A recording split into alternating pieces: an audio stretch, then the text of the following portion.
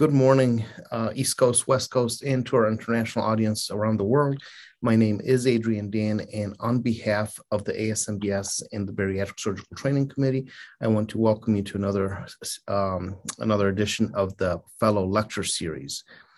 Joining me today is a woman well versed in complexities, but who likes to keep it simple herself. Dr. Kunoor Jain-Spangler, and the West Coast Q&A session this afternoon will be moderated by the chair of our committee, Dr. Matt Martin, Dr. Judy Chen, and Dr. Julie-Ann Lloyd. By this time in the academic year, everybody knows what our lecture series is all about is bringing together high quality didactics and expert contents from around the world and uh, coming together for great educational lectures. So, I'm going to use this time today rather to remind you of a few things as you get towards the end of the academic year. Uh, first, I'd like to remind you to take advantage of the Be Safe initiative uh, between ASMBS and SAGES and the resources that are available through that project and the opportunity to take the test and become certified uh, from that standpoint, there's been a lot of great work going on on um, on, on behalf of the ASMBS by members of our of our society and SAGES also. In addition, if you haven't put together your application for ASMBS certification for additional training, this is a good time in the academic year to start gathering those resources. And most importantly, as you get ready to graduate, consider not only consider, but make it a point to, to join the ASMBS. It's a fantastic organization that advocates not only for our patients, but also for surgeons, uh, physicians, uh, integrated health professionals, etc. So a great group to be a part of as you embark on your professional career. We are excited this morning to have two fantastic speakers, both of them uh, very accomplished pillars of our uh, subspecialty and of our society. Uh, we'll start off um, with Dr. Marina Kurian, who will discuss short term complications related to metabolic and bariatric surgery. Uh, Dr. Kurian is clinical professor at NYU Langone Health and of course also um, in a few days the president-elect of our society. Uh, joining her is Dr. Matt Brengman, another very accomplished member of our society with countless contributions. Dr. Brengman is also a past uh, president of the Virginia chapter and West Virginia chapter of the ASMBS and um, practices with advanced surgical um,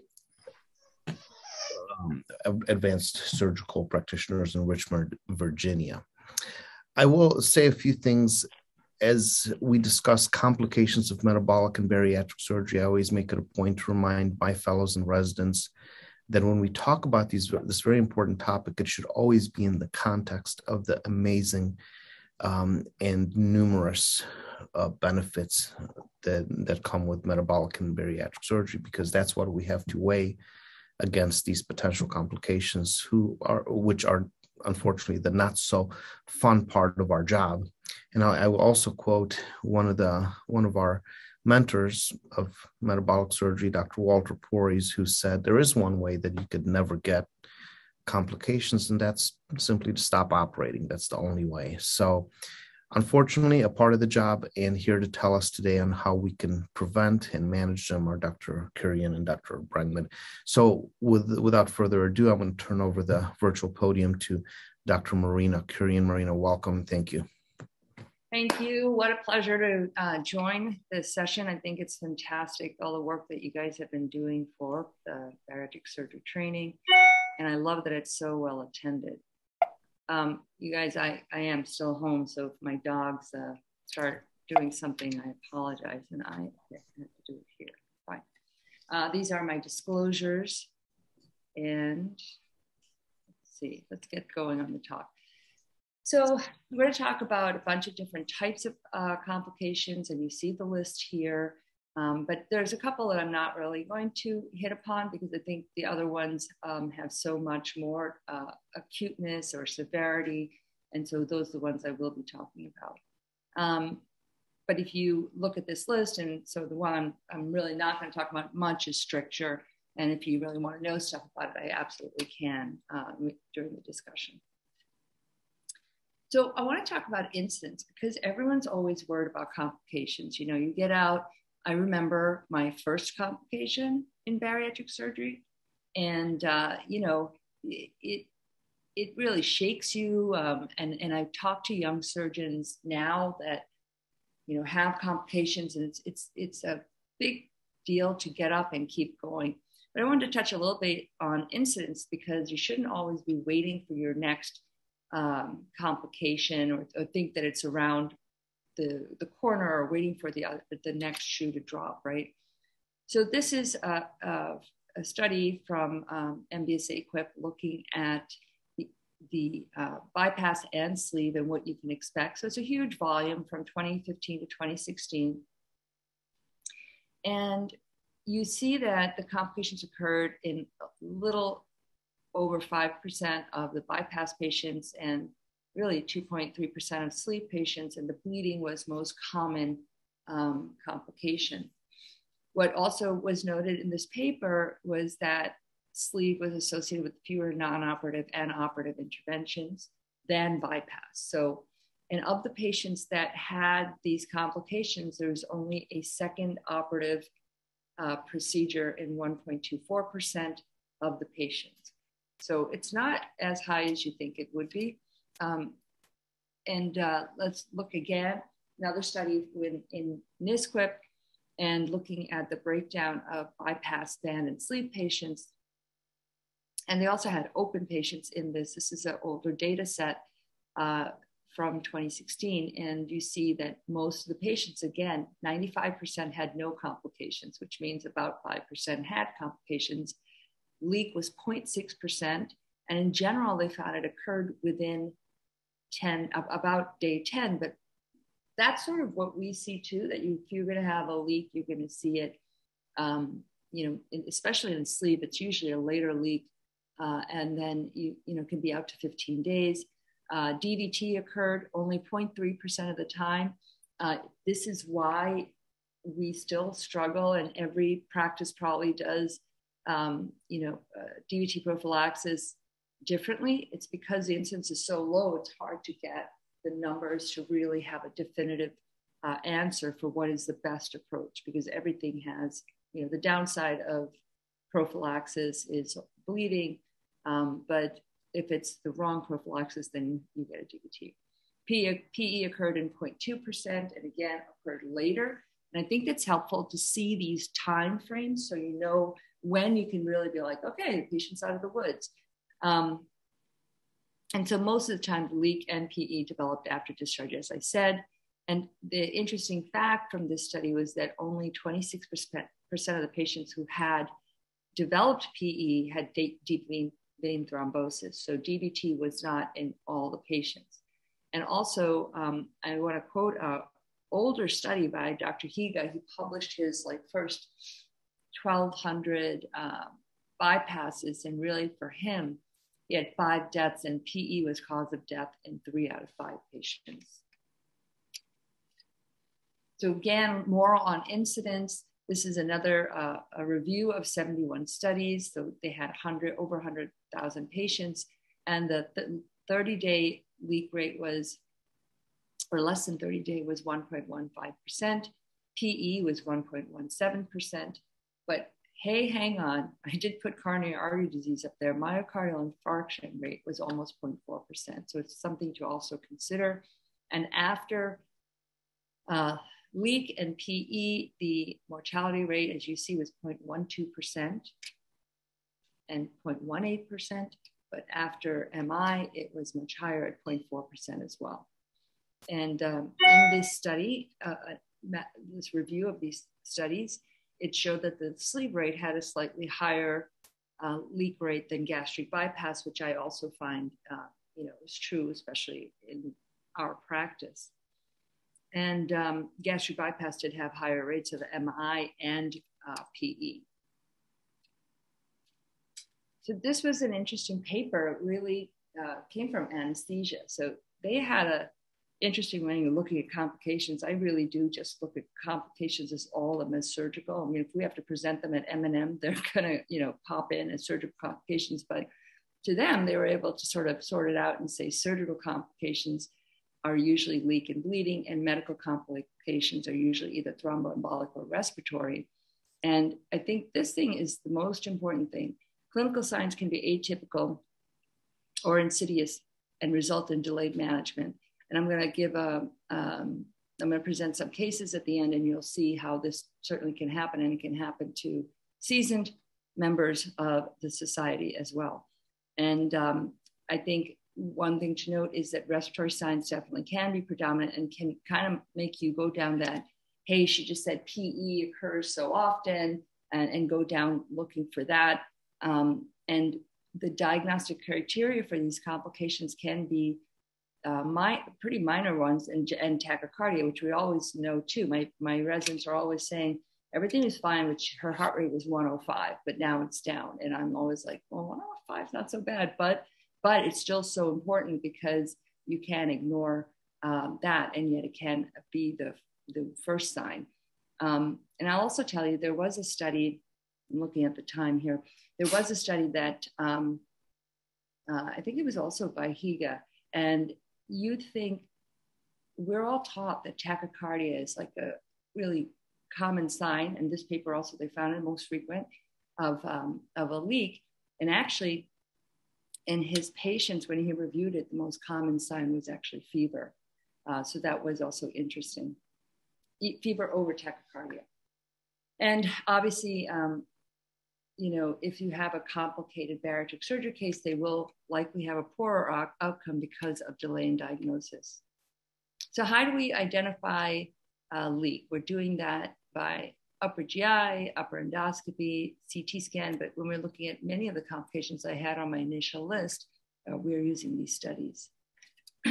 so, for leak, if the patient's stable, definitely stent them. And if they have an abscess, you can definitely drain it. Um, unstable patient, you guys already know this from your surgical training. You have to go to the OR, explore, drain widely. Um, if it's feasible to suture, you can stent if feasible while you're in the operating room if you have the ability uh, to do so. I'm not telling you guys anything new. Um, I will say about leaks in now in, in sleeve for sure, and also more in gastric bypass those double pigtail stents are really uh, the way to go in, in the stable patient. I'm going to go through some scenarios here. So this is a patient, eight days status post sleeve. She comes into the hospital with abdominal pain and fever, um, really tachycardic, temp was elevated, BP was low, and the CAT scan shows a left upper quadrant fluid collection and a leak at the upper staple line. She was unstable. Um, so I took her and we did a laparoscopic exploration. Although this is my patient, she um, presented probably in 2016 and we hadn't started with the the uh, double pigtails. Actually, we did put a double pigtail in her and another patient that came in uh, from, of course, an outside hospital, because thank God I can't have two sleeve leaks at the same time.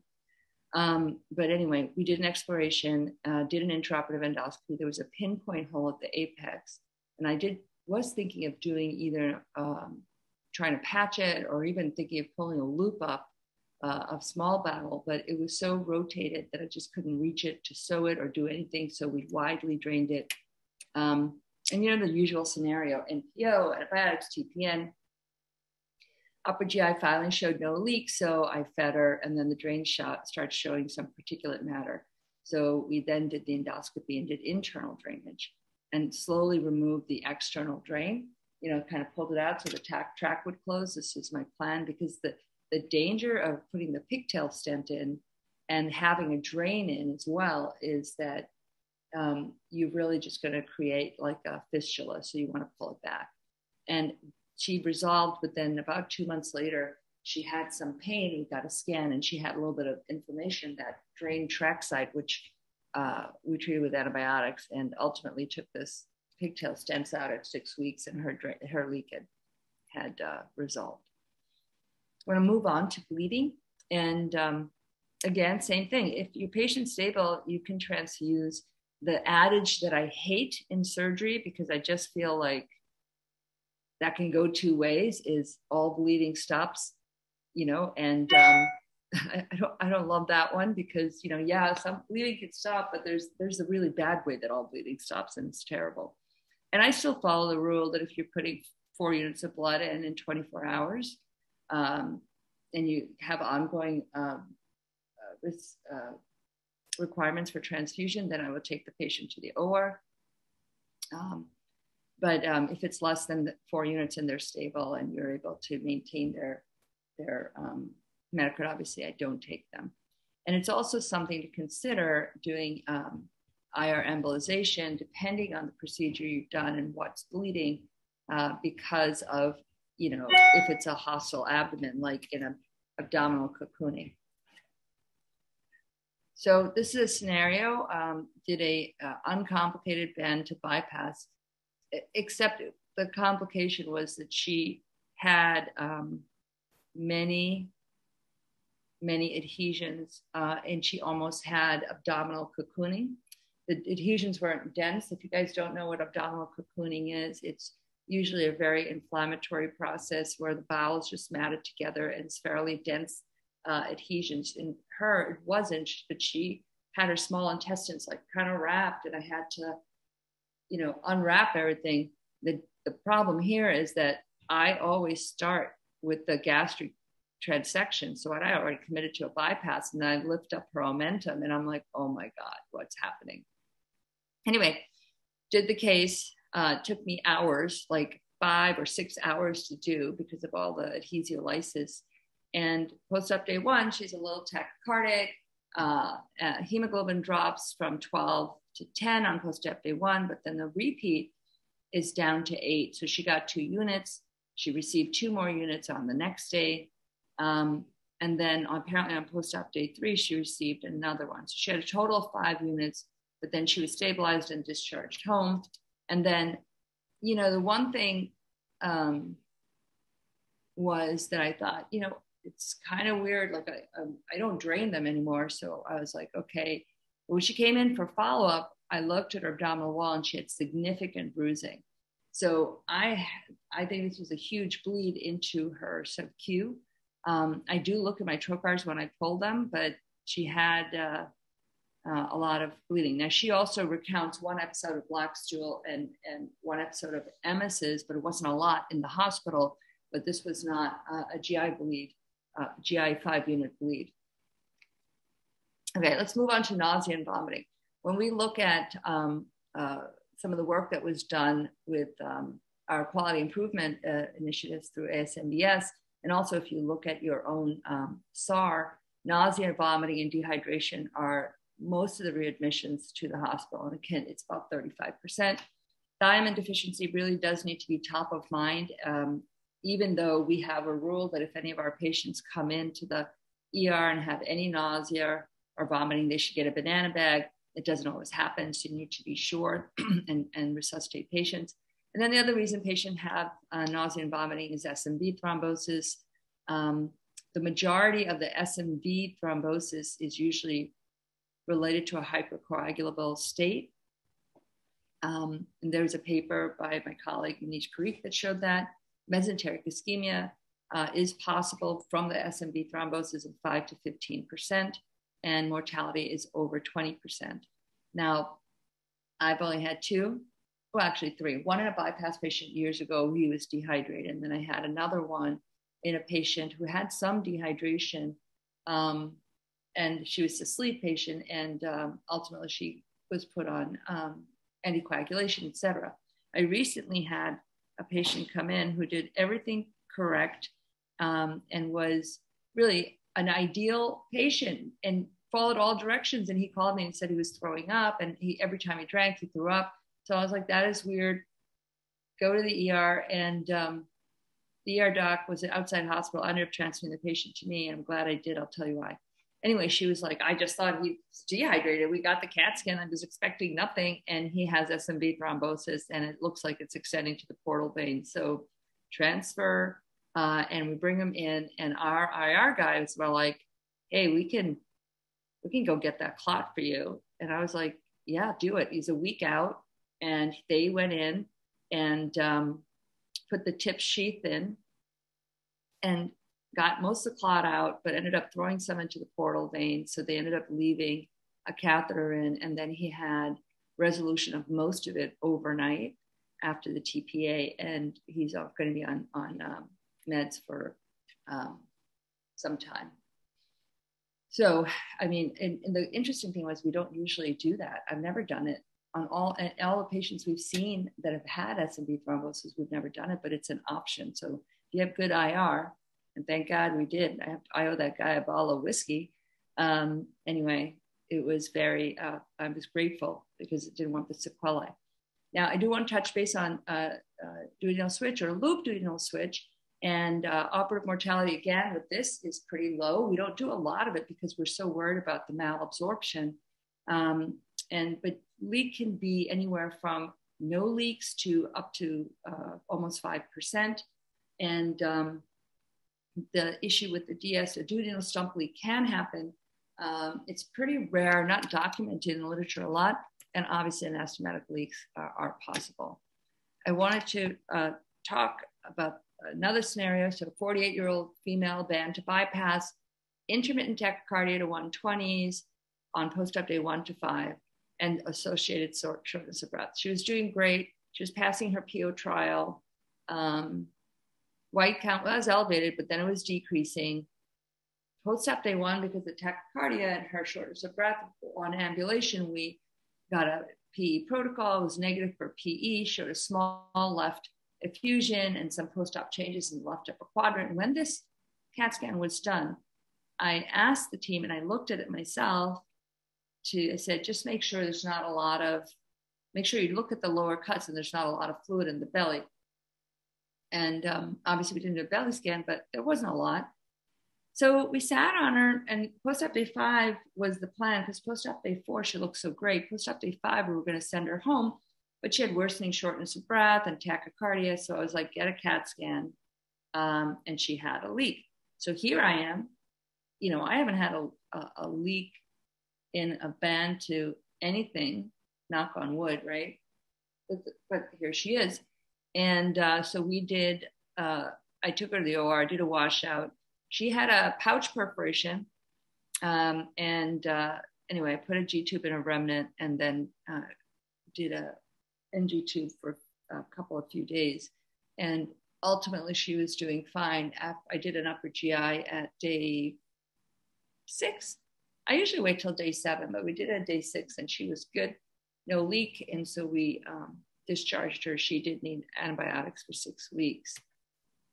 So, in conclusion, um, signs of a leak can be insidious and um, your patient can actually be walking around doing great and still have a leak. And when I went in, everything had just walled off um, on my patient.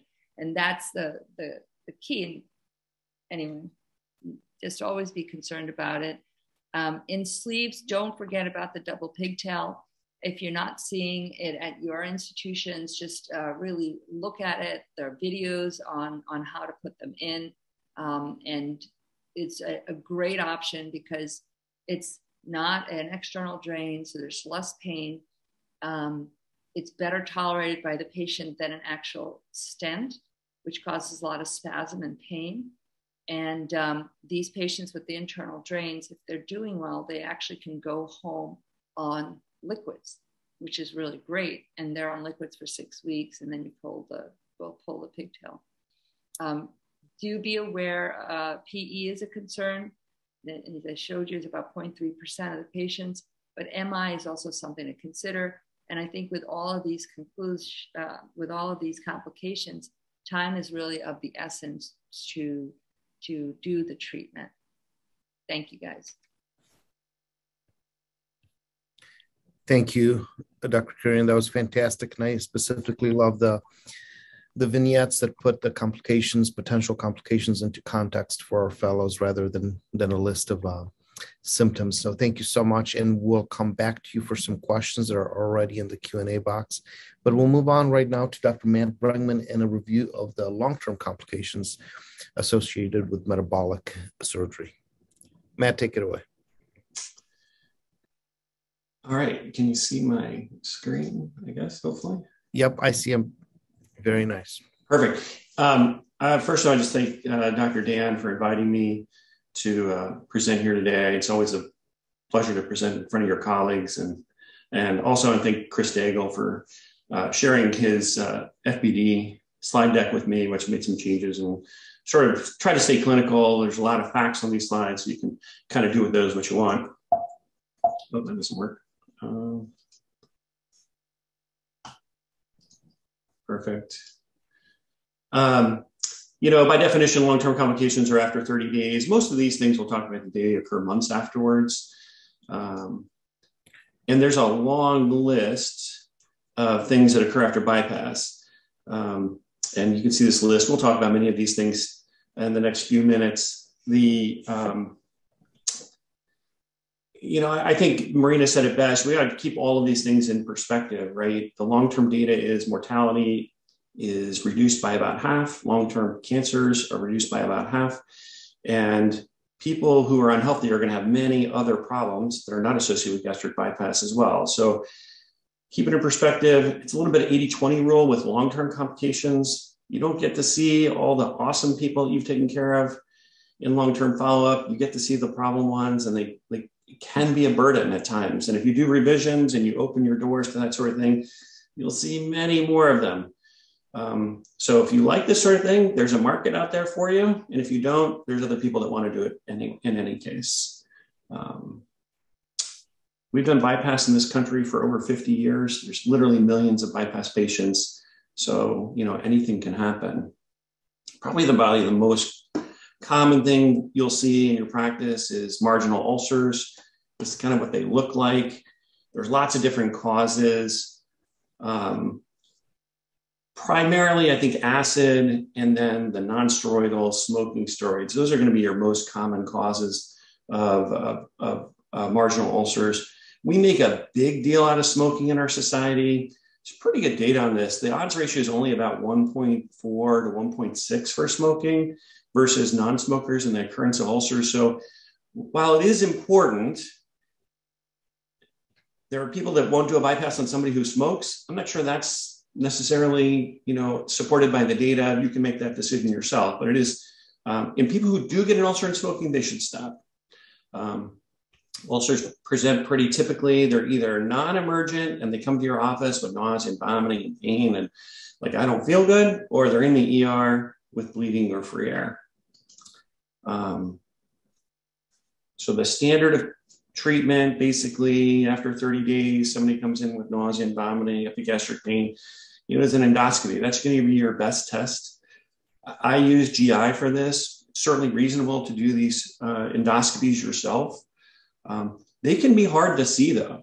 So, you know, they get around the corner past the, the anastomosis. You really got to be taking a good look to identify that little white plaque and even a small ulcer can cause a lot of symptoms. And so you really want to be very careful to identify that. You know, radiology is really secondary in this. The ulcer has to be really cratered to be seen on an upper GI or a CT scan, uh, unless sometimes, though, you'll see your patient after they've been to the ER. They'll say there's, you know, maybe nothing wrong with them. They do a CT and there's just that subtle haziness around the anastomosis and that can be a sign of an ulcer. And uh, so, really engaging, don't like we're the experts, right? So, take all the data at face value. When you're dealing with complicated patients and people, you know, we're all focused on expanding access and doing new procedures. So, seeing somebody who's got a complaint in the office can can sometimes be draining. You want to just try to keep that bias in check, right? You want to just be open minded, evaluate the data for what it is, and then have a treatment plan. Your patients will really thank you for that. Treating ulcers, if they are taking non-steroidals or steroids or smoking, kind of get rid of that.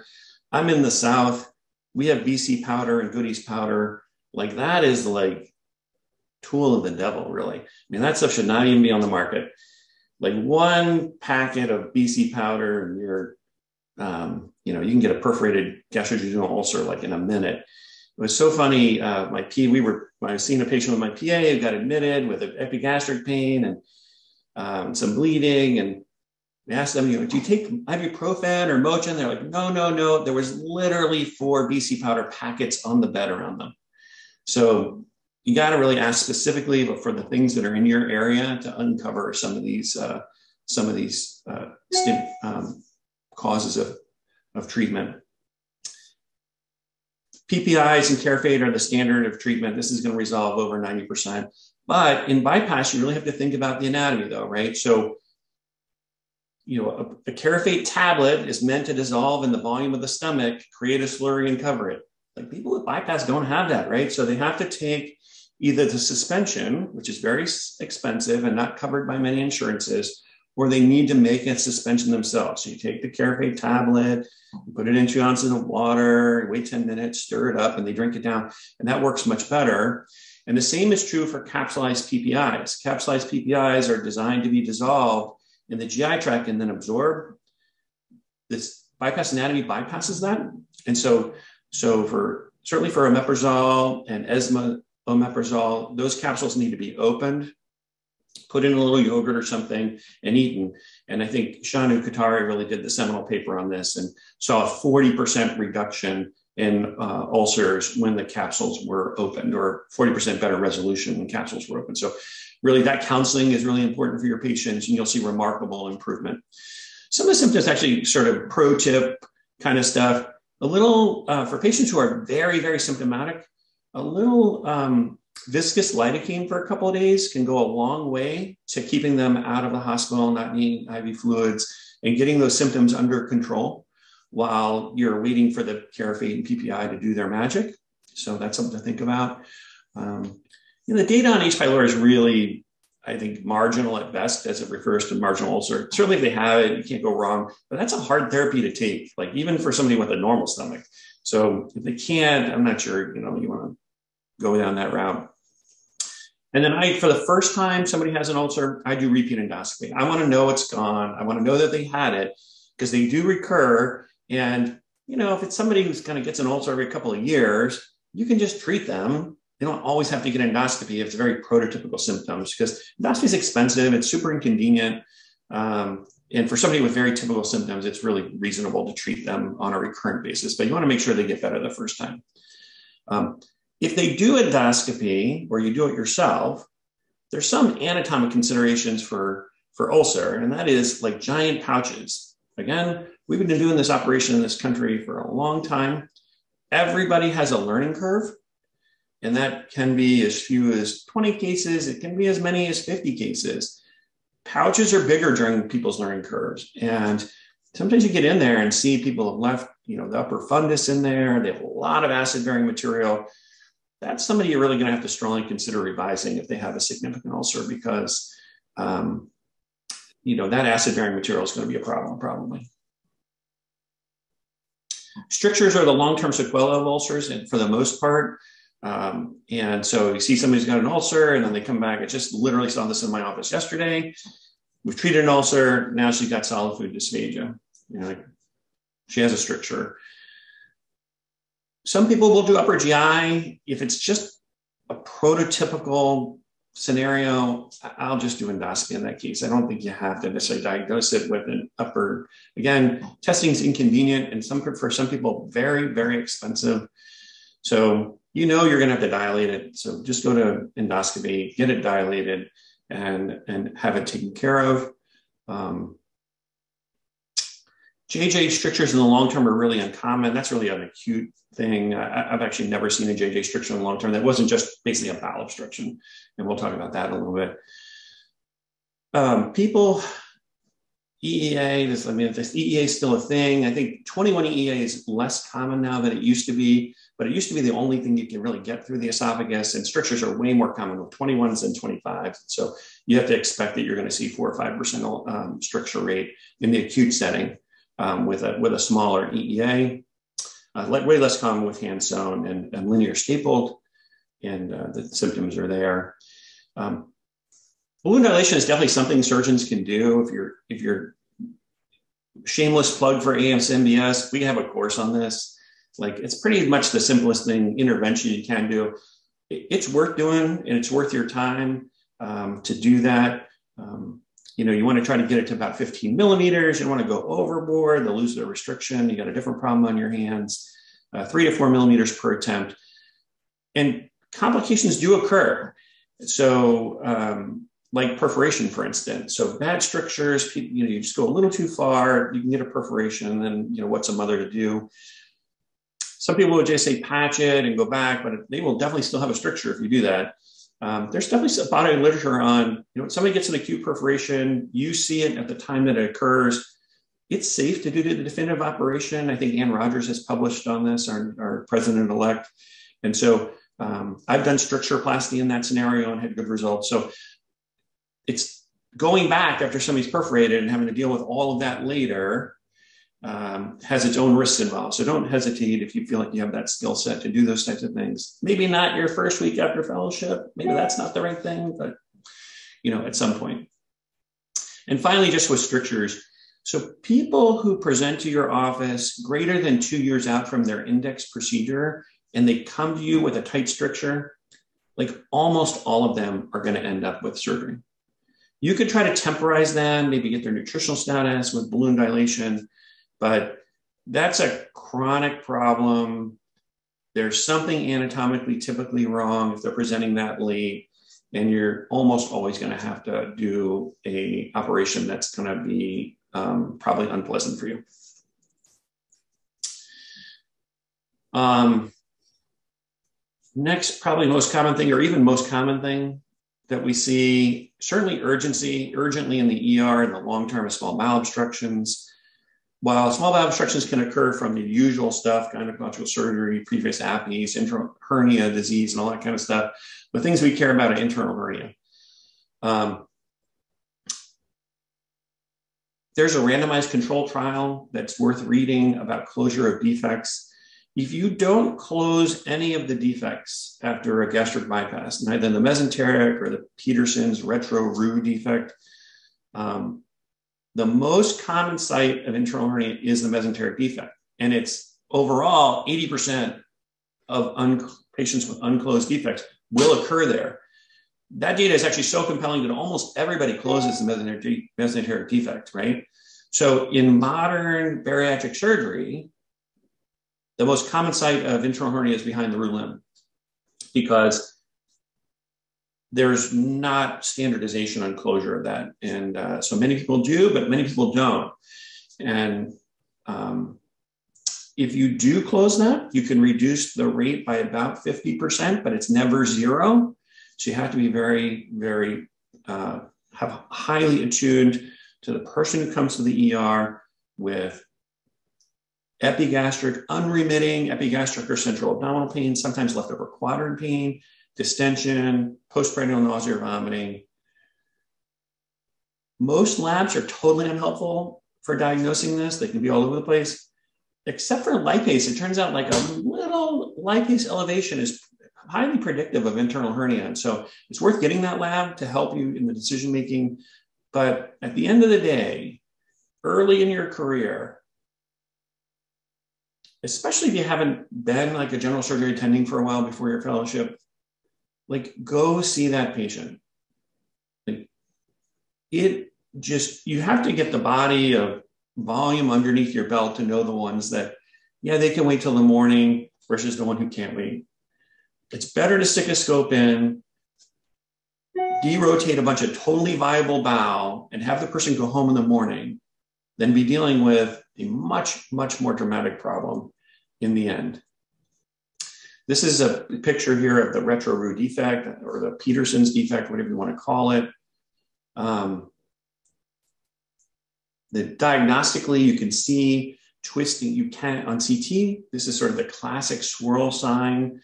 A picture like this was on the recent inside uh, recent ACS um, board exam or ABS board exam. So it's worthwhile to know what that looks like. But it doesn't always show up, right? And it can be highly variable. I think actually now radiologists are so attuned to it, it's actually overcalled, in my opinion. I see a little more of that than, than maybe is really uh, actually happening. But this is what it looks like. If you suspect and you go to the OR, then there's a couple things, right? If you see chylous ascites, they definitely have rotation and you need to fix it.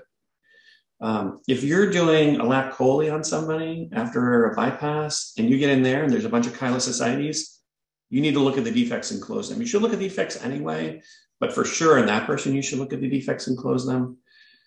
The rotation of the bowel at, an, at a retro internal hernia defect is always counterclockwise. The bowel is rotated through the defect counterclockwise, always. You have to get the bowel back clockwise. It's way easier to push it behind the limb than to pull it from the other direction. It's almost impossible to pull it by following the jejunal limb. You'll have better look if you want to go that route to go down to the TI, run it all the way back. The part that's the most difficult part is getting the JJ through. It's bulky. It's usually very heavy because of the lymphatic occlusion. And so you need kind of two hands to like kind of push and pull or gently push it from behind and get it reduced. And just be persistent, understand your anatomy. If you can get a your system to get the retractor underneath the limb, a little anterior elevation, that'll help a ton and, and get it done. Can't get it done laparoscopically, open. There's no shame in that. And, uh, and then close the defect. Try to use some sort of longer lasting suture. Um, and probably the last thing that's really important is these uh, can recur. So you want to be really be careful.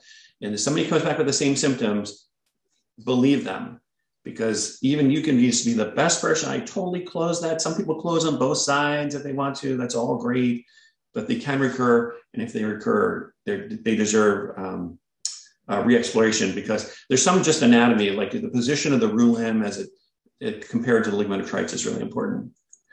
Um, jejunal uh, intussusception, also pretty commonly seen on CT. There's a nice target sign there. Most intussusceptions in gastric bypass patients are retrograde. So it's a small bowel retrograde into the JJ. It's more common with larger double stapled or triple stapled techniques. Um, if they have persistent pain, you got to operate, right? It's like I used to tell uh, uh, residents when I had that kind of job, like if you're not going to operate on peritoneal signs, what are you going to operate? In bariatric surgery, if you're not going to operate on people with constant pain, what are you going to operate on? You got to like you got to take care of these people because they have all these crazy little problems, and you get to operate on them. That being said, we see a ton of asymptomatic transient intussusceptions now because CAT scans are just so good. So if the person has transient symptoms and they're not having obstructive symptoms, they probably don't need an operation right then. Um, but something that looks like this with the big JJ, that's that's probably something that's to have to go to the OR. So you can use a little bit of your judgment there, but clinically, if the patient is persistent, they, need to have the problem addressed. What's the worst thing that can happen? You do a diagnostic laparoscopy, and uh, and it's negative, right? And they go home two hours later. That's what it looks like. Uh, worth mentioning is the person who has the um, chronic intermittent intussusception. You know, there's a there's this W enteropexy where you sort of sew the bowel together in a W shape to prevent it from intussuscepting, and that's that's works, and you can definitely do it. And so um, the older alternative is to totally revise your jejunal jejunostomy, and that's like a little bit of a big operation. So if you think you can do that and, and get away with it, that's probably worth doing as well. these candy canes, this is really a thing of the past, right? So the, the shepherd's crook at the top up there can cause all kinds of problems, stasis of food, chronic pains associated with, with recurrent morbid obesity. Um, for the people with pain in a relatively small pouch, just go in there and take it out. It's very straightforward. It's easy to do. It's particularly gratifying, actually. Patients are very rapidly get improve. If it's associated with a big pouch and like recurrent morbid obesity, where you've got like a pouch and a really wide anastomosis and this big reservoir, you, know, you got to do something about that. And so doing an en bloc resection of the whole thing and, and re uh, anastomosing is going to be a better choice for you. Um, it's worthwhile. I'm going to, in the sake of time, only have about four more minutes. I'm, I'm going to skip some of these guys. Um, again, things that are operative are more fun. So we'll talk about gastric gastric fistula a little bit. So gastric gastric fistulas are fun. They occur. They're way more common in people who had like an undivided bypass. They still occur in divided bypass though. So they come in a couple different flavors, right? So there's the one that's really high, where the bowel either wasn't totally divided or maybe the staple line was still very close together and it reannealed, or low associated with an ulcer or maybe a expanded gastric bypass. These can be complicated operations and the, the like in your mind, you're like planning that you're doing like visualization and you're planning to go to the OR. You're like, oh, I'm just going to divide that fistula. It is just so rare to be able to do that, that you should always be thinking about doing the right thing for patients. And the right thing about for patients is doing this en bloc resection. Get above the anastomosis, get rid of the redundant pouch, take out part of the remnant stomach, or even um, some people take out the whole fundus just to prevent it from coming back again and then do a nice redone anastomosis. Um, your patients will think you'll, you'll have much better results and you have many fewer complications because you won't end up with kind of marginal staple lines and stuff like that. So really an en bloc resection is, is, um, is the standard of care and, and, and is, is worth your time and for this particular problem. There are some endoscopic techniques. I reserve those for very high risk patients you know, persons who you know, wouldn't tolerate a vigorous haircut. That's like a good person to try this on. They don't have great success in the literature. In my personal experiences, they also don't have great success. I mean, but when you get in there, if you're going to do it, I mean, just go hard on that um, that argon beam coagulator. Really get that mucosa obliterated. Nice tight suture line, and then you kind of hope for the best. I leave them on liquids for like six weeks to have any chance for it to heal. So you, uh, and it's and that can be a fun case too, but but taking it out is way more fun actually. Um, in preparation for this particular talk, I I was like, I got to learn more about this SIBO thing, and uh, you know this is a real thing.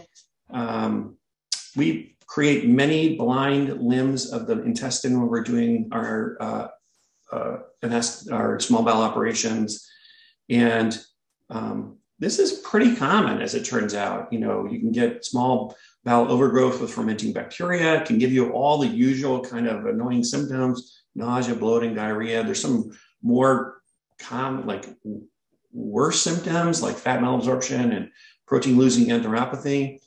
You, uh, I never ordered this test, but I see it ordered a lot. The hydrogen methane breath test. That's little methane's a little, a little less common in bypass patients than hydrogen um, in terms of being positive when this is present.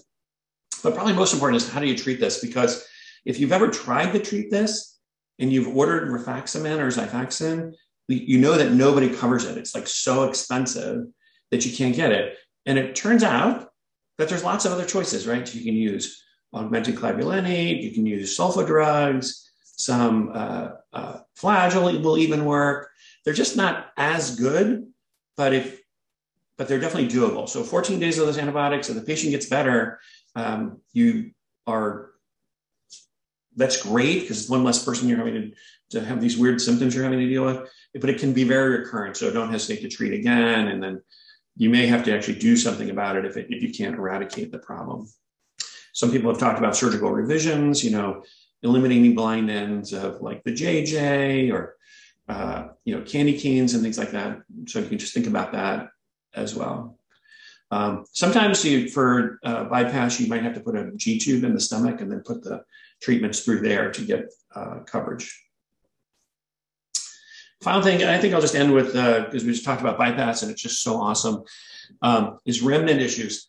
Like remnant tissues are the final thing. Like you've done everything for the person, right? You've laparoscoped them, you took their gallbladder out, you've done 9,000 endoscopies on them, they've gotten radiotherapy through CT, and they're still having the problem, don't forget about the remnant. The remnant can have anything happen to it. They can get bile reflux gastritis, they can get peptic ulcer disease, gastric outlet obstructions, they can have gastroparesis. Anything can happen in the remnant. So if you get to laparoscopy as your final thing, you might think about putting a G tube in at that time so you can do more diagnostics. Or if it's the second laparoscopy, and this is what happens to me usually, is doing an endoscopy at the time of your laparoscopy. And it's not hard to do. You just put a couple of stay sutures on the greater curve, put a 15 millimeter trocar from the left lateral trocar site into the remnant, and a diagnostic scope will go through that. And you will be shocked at what you see sometimes. it is pretty awful in there. And leave a G tube so you can do a gastric emptying study, do a bunch of biopsies. You might find some like a little dramatic intestinal metaplasia in your stomach. Luckily, the treatment's all the same. You find something wrong with a remnant and a patient who's miserable, take the remnant out. It's not that difficult an operation. Your main you know, um, complications are basically bleeding and stomach leak. Thank God that's rare because it's a disaster when it happens. But in the right patient, highly, highly gratifying. And don't forget to think about it because you don't think about it, you'll never diagnose it. Um, and also, when somebody has a GI bleed, like there's a surprising incidence of gastric ulcers and gastrojejunal ulcer or not, um, duodenal ulcers in patients post bypass. And, and that to me is an indication to take the remnant out. You just can't deliver the medicines right there and they don't need it. And so when they resolve their problem, go take it out so they don't have it again. They can really get a life threatening bleed because you can't get in there and oversew it, right? It's like it's excluded. Um, I think we have about 10 minutes left. So I'm going to stop here and uh, throw it back to uh, Kunoor. And just again, thanks for the opportunity to chat about some of these things today. It was super fun for me. Thank you both so much. That was fantastic. I think it's really clear how much experience and insight uh, we have in the room today. And we already have some really fantastic questions. I'm excited about this q&a session. Um, i'm going to throw this one to marina first. How and this is kind of a loaded question. I think there are multiple layers to this. So how important is enteral feeding access when treating a leak? It i'm trying to get you back guys back on screen. I'm sorry. Um, it is very important. Um, it I, I mean, I think in the stable patient that I'm going to treat a leak with end, uh, internal drainage, I'm not so concerned about it, right? But in um, in general, uh, if things are bad and the patient's unstable and you really are not sure about the next two days or three days, what the course is going to be, they're on pressors, put in enteral access. And um, I hate J tubes with such a passion. So sit there I'm I'm working at like you know in a sleeve patient it's a J tube right? And I'm sitting there thinking I, I hate these and what am I going to do? And um, I do put them in uh, but it if if there's even a chance you know you're saying there's a chance if there's a chance that the patient okay then uh, you know, I won't do it. But in general, I think it is absolutely necessary. And certainly in a bypass patient that, you know, putting in a G tube, it's sort of a safety net. I told the patient beforehand, I said, look, I'm putting it in um, because I'm really kind of worried about if I don't, you know, I'm not going to take you back to do it. So I'm going to put it in now, sort of to ward things off, you know? Absolutely. Yeah. I tend, I think as I've progressed um, and had a little more experience, I do agree with one of my partners who says no tube is a good tube. Um, they can often become the bane of our existence and lead to you know complication that begets another complication. But i do think especially when you're saying you know with the the more complex critically ill patients it definitely can be a great great safety net. Uh, any other thoughts from uh, matt or adrian about this? I lean on enteral access hard especially for sleeve patients. I, I haven't put a lot of the double J stents in uh, or double J uh, drains in, but patients with stents, they can't, they can rarely take PO well. And uh, they just have so many symptoms, and then the stents migrating because of that. And so I, I lean hard on it. Luckily, it's so rare that, yeah. Um, but the, but tubes have their own set of issues, right? I mean, they hurt and they leak and they smell and huge body image stuff. It's just like a, it's so painful to manage them yeah. The pigtails you, you got to get into it. It's so easy and, the, and it's so much better for the patient and also for you. Because i hope i don't have to get into it in my own practice but for other people yeah. sure. I would totally want to get into that. People are coming to your practice for sure We have um, a very interesting subset of questions about COVID, uh, which I think is particularly relevant. And I'm sure somebody's already working on this retrospective review somewhere. But uh, so, question one Is there a higher portal vein thrombosis, PE, DVT in patients who've had COVID in the past? Are we seeing that more in the people who've recently had COVID? And then, number two, should we be um, placing COVID, people with recent history of COVID, um, on Lovenox post op? Well, um, I think distant history. I don't think you have. I I don't think you have to. I don't know what you guys do, but I actually send almost everybody home with a chewable aspirin. And if they're BMI over 50, I do send them home with Lovenox. So um, we are thinking about changing that because that patient I said who was the perfect patient, like did everything you asked him to do, BMI 44, you know, not that heavy. So, um, and yeah, I'm not sure. Um, I think maybe it would have been prevented if I had put him on something longer term. Uh, so that's something that's in evolution. And as I said before, it's hard to get the numbers to know what exactly is the right thing to do because you're always going to have outliers. Because the incidence of DVT and PE is so low, they people might seem like an outlier. So you know, it's hard to really come up with um, a change that makes sense for the few as well as the many. Because I think when you put everybody on Lovenox, you can see more bleeds. And I actually get I feel like a leak is bad and I can treat it, but those bleeds, man, sometimes I just worry a little bit more about them because I'm not sure if I'm going to have to operate or, you know, you know what I mean? There's like a little uncertainty there. I feel like we're constantly changing our, our anticoagulation um, depending on how the pendulum is swinging that year. Um, but you know, for us personally, we use the Cleveland Clinic risk calculator, or the Caprini score. I, at some point in time, I think COVID may play, actually play into that. I don't know. We'll have to ask Dr. Aminian um, in, in, a few months. But the other point is the um, the. I mean, bariatric surgery is protective for patients who who do get COVID. And it seems that there have been a few people out there looking at the severity of disease, and by decreasing inflammation in the body, we're really doing a great thing for those patients because they have less cytokine storm. Great point. So moving on to some um, questions about dilation. So there's a question of how soon or after, can, how early can we dilate? And then um, somebody wrote, I've seen some GI guys injecting steroids after dilation. What is your thought on that? I mean, I'd say early, you don't really see it before four weeks. And so, but you can dilate at four weeks. I mean, that's, that's not a problem.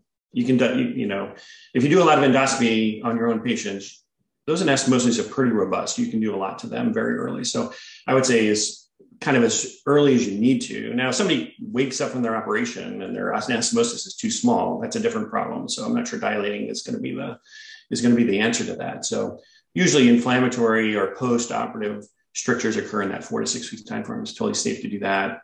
Um, chronic strictures, yeah, there's all kinds of crazy stuff, right? So you can inject steroids. People are doing like scar strictureplasty. Um, I don't know about the steroid data. I think the strictureplasty data isn't very robust in the long term. The internal strictureplasty, and there's definitely a risk of like perforation, which is super awesome, as they are not going to be dealing with that.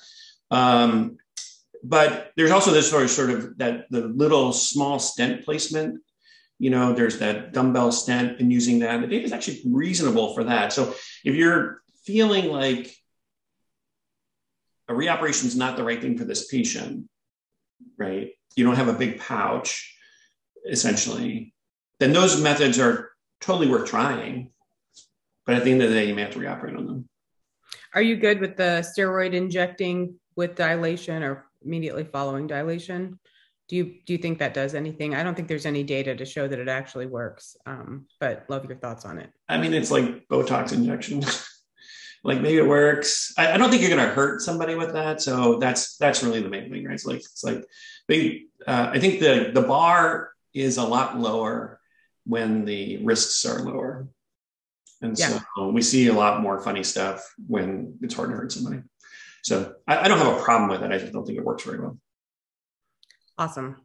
So, next question when dealing with a CBD stone, lap assisted ERCP technique and subsequent G tube until the stent comes out? Yeah, if they have to put a stent in, yeah, you're going to have them access to get the stent out for sure. Um, that's fun case. Definitely do it. Um, Way better than Edge. oh my God. Don't get me started. I, I gotta, you know, this on the edge. We all just had a visceral reaction to that. Perfect case for just because you can doesn't mean you should. Oh, for you guys who are listening and you don't know what the edge procedure is, they take that. What's the name of that stent? It's like a, it's the specific stent, Axios. Axios. Axios stent. they perforate from your gastric pouch into the gastric remnant, put this axio stent in that, that then dilates that connection and holds it together, creates a fistula. Then they do their, they go through the stent, do their stuff, leave the stent in for some period of time. I don't know what it is. Then they take out the stent and, and suture it closed. And 30% of the time, there's a GG fistula. I just, Yeah. I, and meanwhile, if we go to the OR, yeah, there's a little bit more surgical trauma, but we, we put a, as Matt perfectly described, you just put a trocar in, and you got to put, I, I put a 15 in for them, but 15. 15 and the scope passes through the therapeutic scope goes through there and then they can do what they need to. They do a strictureplasty you know they get the stones out. You don't usually have to leave a stent. Um, they should be able to clear everything.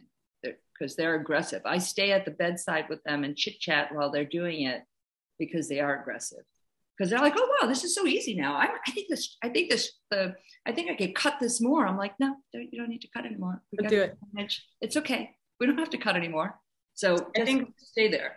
For the fellows, the important thing is if you get that trocar um, into the stomach at the perfect angle, it makes it so much easier for them too, um, Yeah. and they really appreciate that. So just something Very, technical. very lateral. Exactly. and I like um, the balloon ports for that too. Those work really nicely um, in the stomach, just to keep everything in place. Um, So one other thing on this is that I've also done this for DS. So just grab the small bowel about 15, 20 centimeters distal to ligament of Treitz, bring it up the abdominal wall. It's the, and our, my GI guy who did it um, was very reluctant to do it. But as it turns out, you get to do it with a straight scope. It is so easy because you're becoming retrograde. Yeah. And so don't be afraid of like accessing the small bowel to take care of common duct stones in, um, in a DS patient because it's it's very straightforward. This is like a battle of age right here, you guys. I'm like, wow, I haven't done that. it's really Marina, you've done everything. no, no. I have a question for Matt uh, though about that viscous lidocaine. What's the dosing on that? That's for marginal ulcers. Did I miss that? Okay. Yeah, so totally, it's five percent viscous lidocaine and it's 15 cc's up to Q6. Okay, that's good to know. Very effective. That that that's good on you. That's a good. That's wow. Quick question while we're talking about accessing the small bowel. Um, any words of wisdom on using the Roux limb for enteral access when it's difficult to get back to the to the uh, remnant itself? Yeah, totally. In fact, putting a J tube in, I used to put J tubes when needed and people with bypass at the uh, JJ um, because you just had so much room, right? You can't narrow it there. You just put it through the staple line and secure it up there. But then I had um, somebody who got rotation around it with the Roux limb, and I was like, I had to reoperate on them. Like J tubes are like so much fun. So now I just put it in the I just put it in the Roux limb, kind of as close as I can get to the ligament of Treitz that'll come up to prevent that. And there's because it's only bile going by, you can't really narrow it. You mean the BP limb? The BP, I'm sorry, BP limb. You're exactly right. I, I would put it in the BP limb myself. I wouldn't put. Uh, um, the other thing that I always think of, like I said to you guys in sleeve, and I meant to say it when you asked about it, was uh, if they can do like a nasojejunal Yeah. tube feed or something. I mean, I really sit there thinking, how much will my patient hate me if we put a nasojejunal tube A feeding? in? lot, man. They really hate you. Hmm. Hmm. A lot. Yeah, I know. All is painful. And we'll Nothing says sick Yeah. like a tube coming out of your nose attached to Oh, your. no tube is a good tube. Yeah. Um, couple other questions. Somebody asked about endoscopic internal draining, and Adrian, I think check, we do have several um, archived webinars on this, so please feel free to check those out. They're available. You don't have to have a password or anything on the ASMBS website. If you just type in fellow webinar uh, ASMBS on Google, it'll take you to the right page. Um, somebody else asked, is there a 15 millimeter balloon port? Yes, there is. Applied makes it. It comes in a 10 centimeter, 12 centimeter, and 15 centimeter length. Um, and those are great for that intragastric um, placement. Um, and then I was just going to say, I didn't realize how many of you um, Northerners did not know what BC and Goody's was. So when we do our listing, when I talk to patients, I always say, So are you taking any aspirin, ibuprofen, Aleve, meloxicam, BC powder, Goody's powder? I have a list. Um, I sound like an auctioneer. And inevitably, probably 25% of them are like, Well, I take four BCs a day. What's wrong with that? And you have to remind them that it is powdered aspirin. So um, for any fellows who are relocating from up north down here to um, the BC powder, goody powder land, add that to your list of things to ask about. Uh, also, I think Matt, you made a really great point. I just wanted to discuss it for a second about finding ulcers, marginal ulcers you really have to if you're the, if this is something you're going to put into your endoscopic skill set i think i always harp on my fellows and make sure they're actually trying to retro retroflex not just in the pouch but in the roux limb. So go a little bit into the roux limb and retroflex because if you think about where marginal ulcers live sometimes it's on that posterior surface of the gj and you're not going to see them. Um, so just something to kind of try adding your skill set. I i have so much agita about retroflexing the roux limb that I'm like, okay, oh yeah, sure, yeah, okay. You must leave a really long blinded limb. See, this is how surgeons battle each other, right? Like, I'm like, I will say that it so comes cool. with you She's do have to flexing at the roux limb. When the GI guys show me that view, I'm like, what did you, you know? it's a lot of twisting and turning and feeling your resistance and making sure you're not messing anything up. Um, but I do think when you when you do it and you find the ulcer, oh man, that's so gratifying. Um, I'm gonna go assume. I'm just gonna assume. so I think I think that's all the questions that we did have um, in the Q and A in the chat. Adrian, if you don't have anything else, I think we can probably wrap it up. Yes, I want to thank our speakers uh, once again um, for your time and your efforts, especially uh, at a point in time when we're all getting ready for a national meeting in Dallas. I'm sure you guys have a lot of um, of responsibilities there. Matter of fact, I know um, your your knowledge, your expertise, uh, coupled with your clinical experiences, really shine through today. So I want to thank you guys for that and the this is a vast subject and the degree to, to which you were able to cover it is remarkable. So thank you once again, and we look forward to seeing you this afternoon for the West Coast session, 345 Eastern Standard Time for 15 minutes. It's okay from anywhere. Yeah, if, you, if you're on a flight, we understand. And if you're in the OR, you could even, yeah, we've had people just from the substerile room, but whatever you can do. And we look forward to having you back for future lectures. So thank you all and see you all in Dallas. Y'all, y'all, is that y'all. right? All y'all. later. Thanks, Thanks, Adrian. Thanks, Pinar. Thanks Thank so much. You. Bye. All right. Well, thanks everyone uh, for joining us for the uh, afternoon session. Uh, I'm here with my co-moderators, Dr. Julie-Ann Lloyd and Dr. Judy Chen. And uh, Dr. Brengman, it, it looks like uh, Dr. Kurian uh, was unable to make it, so you're our sole target for questions. Um, I'm going to start off, and you talked about approaching gastric fistulas and I've had one or two of these. How do you handle the patient? They had bypass a couple years ago. They get a CT scan for some reason, and there's a GG fistula, but they're essentially asymptomatic from it. So contrast goes right into the remnant, but they really have no symptoms from it. Yeah, I mean, a lot of times you you don't even see that person, right? They just don't get to your office. They usually get to you for some reason. Um, if the reason is like weight gain, that's nice because you get for some insurance policies, you get to go to the OR and do something about bad anatomy. The more troublesome of that scenario is the person has like really vague abdominal pain and they've got some tiny little fistula, and it's like, is that really it? But honestly, um, you know, with more and more patients aging out of open bypass. That's not to say they're not out there, but they're less frequent than they used to be. These operations are less challenging and much, much safer. And so I'm not sure I would totally approach a totally asymptomatic person, but there's not that many asymptomatic fistulas out there. I don't think. All right. Uh, I'll, I'll turn it over to Julie-Ann. You're on mute, Julie-Ann. Thank you. That was like a rookie move of me. um, I thought both presentations were really, really good. Um, Dr. Brengman, I do have a comment and a question for you. So the first thing is kind of my own personal soapbox. You did mention doing um, an endoscopy at the time of laparoscopy. So I would encourage uh, residents, fellows, anybody who's watching, usually for the bariatric patients, if you know we take them back for any reason um, to do something laparoscopic, the patient is on the anesthesia. So you know I would encourage you guys to just go ahead and do an endoscopy because you might diagnose a marginal ulcer at that time and you would be kicking yourself in the butt afterwards if you've done this elaborate um, take back for like internal hernia. And two weeks later it turns out the patient has abdominal pain from marginal ulcer. Um, so that was the first thing the second thing I wanted to ask you is about gastric bypass reversal. Have you had to do that in any of your patients and what were the indications? Um, how did you manage it and what kind of outcomes did you find?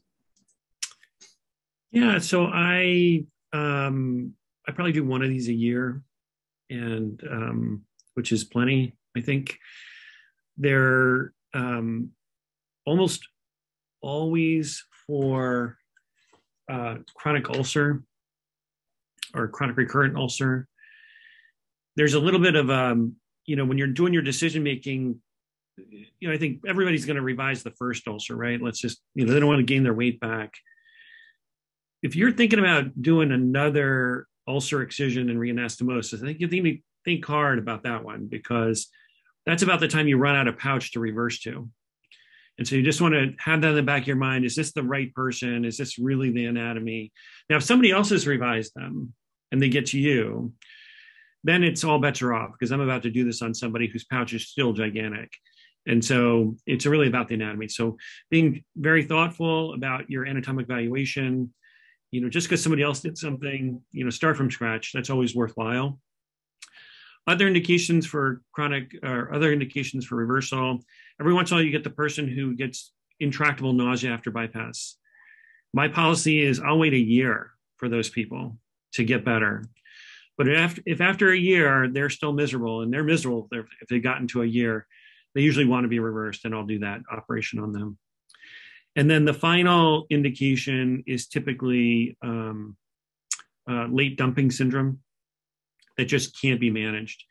And, the, and you just got to uh, bite the bullet and reverse them. Problem is, their emptying is going to be totally crappy afterwards. I've never reversed somebody who hasn't had delayed emptying on their stomach. It's so frequent now. I do a pyloroplasty at the time of reversal, and uh, that's a little harder when uh, when you're dealing with the dumping problem. But um, you know, so you have to decide if you're willing to sort of let them go and see if they be okay without pyloroplasty and risk having to do another procedure on them. But so it's some complex thinking you know, you, you usually get to know these patients very, very well.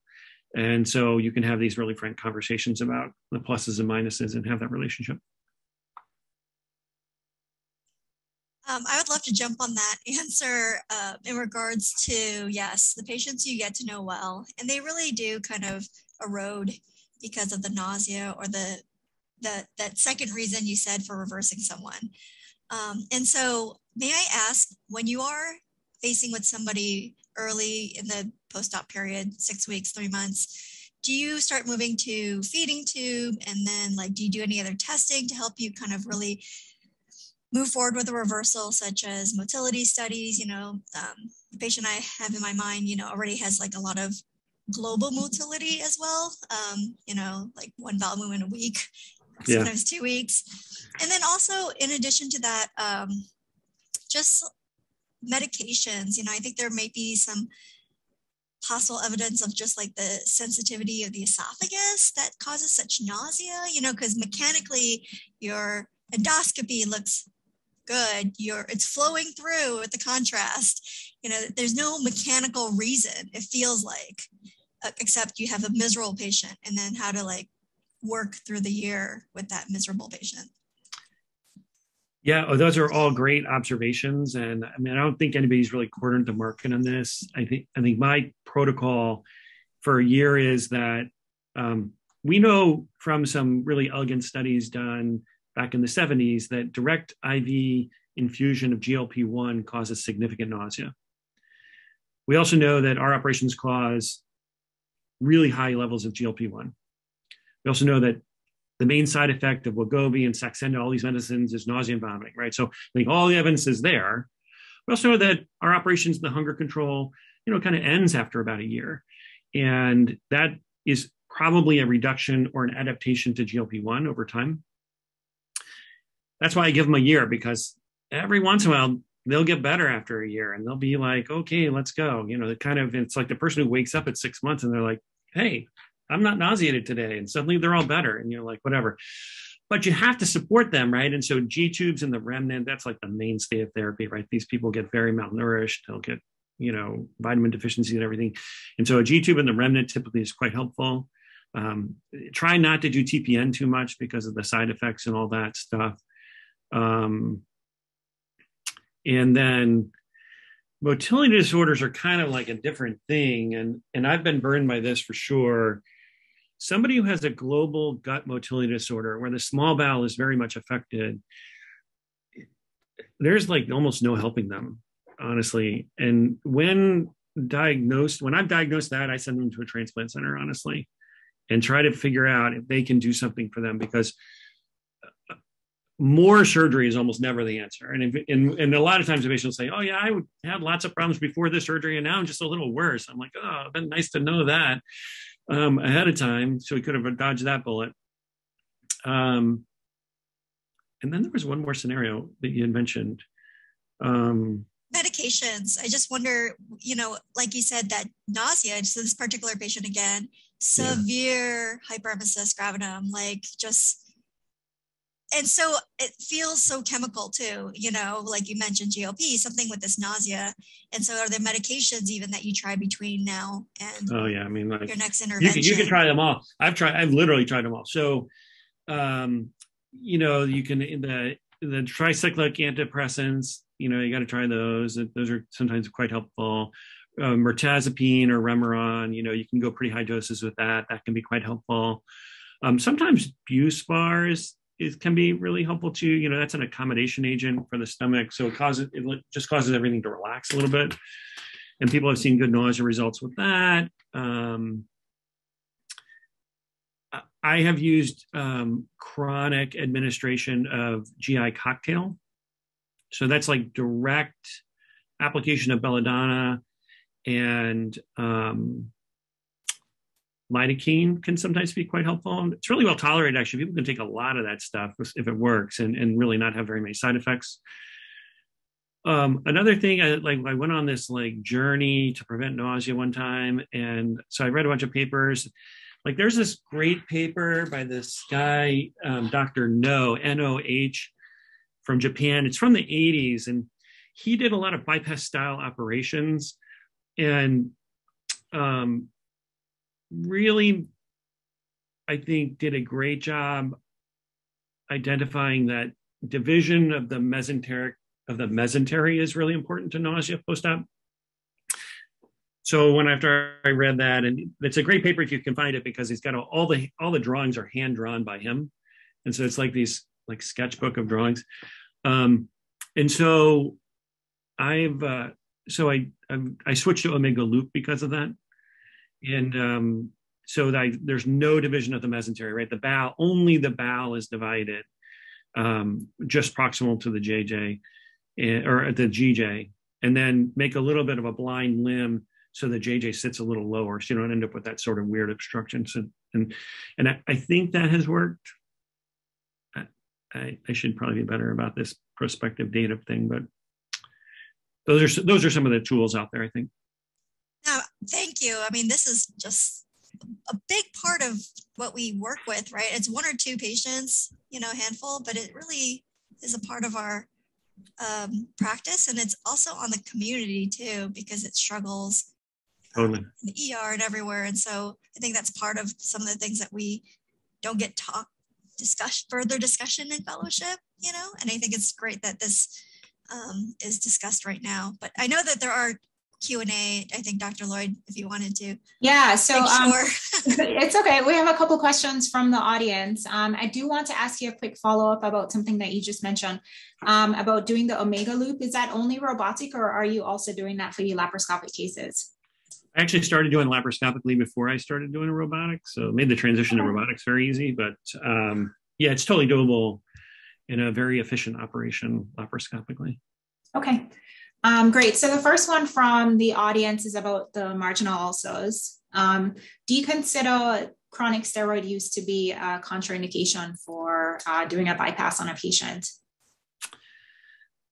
Um, it's like a it's like a stop and think about it kind of thing. You know, I think probably it's better to do a sleeve. If you have the opportunity to do a sleeve, the patient is right for a sleeve. A sleeve is probably a better operation for people on chronic steroids. However, there's lots of people on chronic steroids who show up with a BMI of 55. And then like then then what are you gonna do? Right? Because somebody on steroids BMI 55, they're they may, you know, maybe they're pre-transplant, right? They're never gonna get to a BMI of 40 with a mm-hmm. sleeve. Like that's just not a thing. So I think you have to think hard about it. I don't, I think chronic steroids are not quite so bad. It's the people that get the big pulses, right? So it's the asthmatics that get 80 of prednisone for a week. And, and they go from zero to 100 like overnight. Like I think that's, I think more correlated with chronic or with G- acute perforation and acute ulceration than than the person who just takes five of prednisone every day. Um, okay, the next question is about whether you've used Cytotec in the past um, for marginal ulcer treatment. I've not used it. I, I, read that question, saw that question come up, like, oh, that's probably maybe that's a good idea. I, have I've never used it. I've just used the standard stuff, and that seems to yeah. work. Um, the one thing that's on the horizon, I didn't mention it in my talk, and I and I meant to because I I've thought about doing it now a couple of times, but I haven't had the kind of the right person. Is this over sewing the ulcer? You know, that seems like that looks like magic, right? So let's, you know, they're better in like a day. So I totally want to do that when the right patient comes around. I don't want to ever have that patient, but when that patient does come around, I want to try that because it seems that the data has just been so remarkable. Now, it's a, for those of you that do endoluminal suturing, you know, there's a lot of, there's a lot to that. So the pouch has to be the right size. It can't be too angulated. All that. The anastomosis has to be wide enough to get the thing through the anastomosis to grab the opposite side. But if all these things are in play, it could be pretty fun.